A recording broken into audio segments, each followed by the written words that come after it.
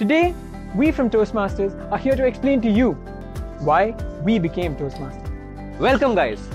So, Toastmasters for me provides a non judgmental platform to explore yourself, your thoughts, present them to others, and the best part, get feedback. At Toastmasters, I have realized the true power of words. To me, Toastmasters is the place where I network. Toastmasters is a place where I make friends. There's a research which says that Toastmasters International has one of the best leadership structure in the world. With the certification in Toastmasters, I train professors, meet with the directors, and discuss with CEOs as an equal. The reason why I'm in Toastmasters is because I have a crowd of people who listen to anything and everything that I say.